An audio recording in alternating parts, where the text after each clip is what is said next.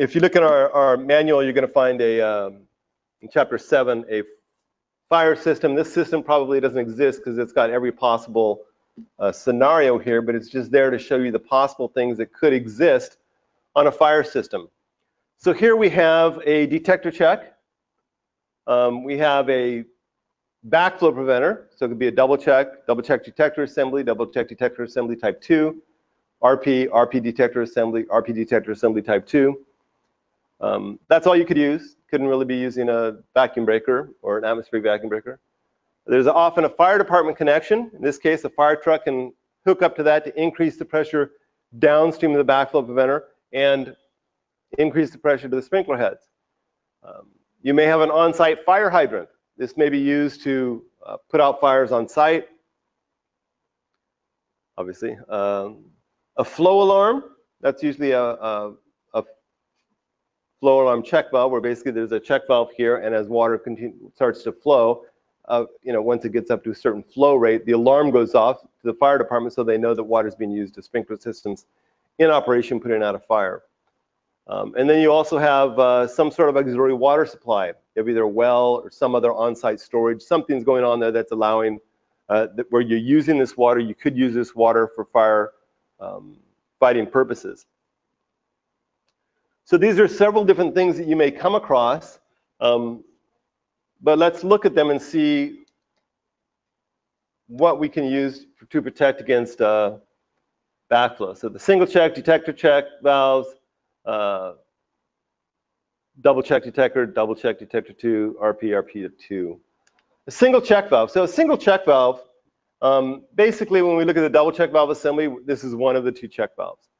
Typically, single check valves in fire systems are not um, testable in the sense they don't have test cocks where you can hook up and get readings off of them.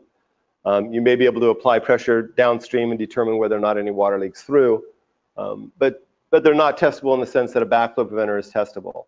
Um, they're also not considered backflow uh, preventers. A single check valve is never considered adequate for backflow protection. So often, a single check valve could fail. You'd want to go uh, more, have more than just a single check valve. But you will find single check valves in uh, fairly common in fire sprinkler systems. Um, here, sort of a clapper assembly here where water uh, will flow through here. It's going to go through. Pushing open the check valve, um, and as it pushes open the check valve, water continues to flow.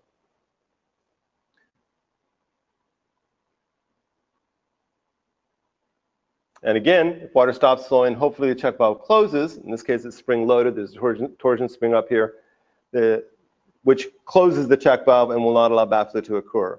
But again, as we mentioned earlier several several times, uh, I mean, uh, it's not uncommon to have, you know, 5 to 10% of single check valves fail. That's why if you, um, you know, if 1 in 10 fails, if you have two in series, that drops it down to 1 in a 100, so it's a lot less. Uh, likely to have backflow occur through a double check than through a single check valve. Um, single checks, again, are not really considered uh, backflow protection. It's really important to, to know that. Very often we find single checks um,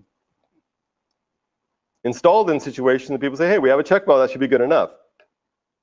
They're not designed for backflow protection. I mean, they're used mainly for a fire uh, Department of Fire truck to tap into the system downstream of the check valve and to pump against that check valve so it'll force more pressure down to the fire sprinkler system. Um, that's great, but again, it's just a single check valve. It's not designed for backflow protection. It's not tested to the levels that a backflow preventer is tested to um, to keep backflow from occurring. That's not their, their main purpose.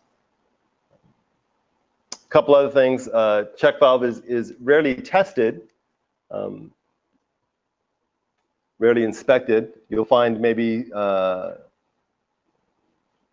well, some of the alarm check uh, alarm check valves that we'll talk about um, are periodically uh, inspected. I think every five years. But again, um, not like the backflow preventers that are tested every year and um, we're assured that they're working properly.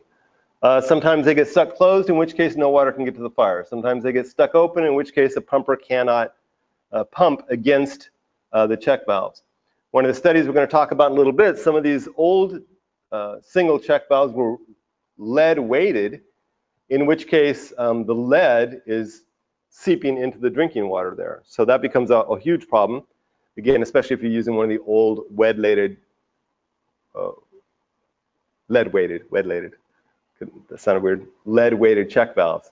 Uh, then a lot of lead can just dissolve into the uh, drinking water supply.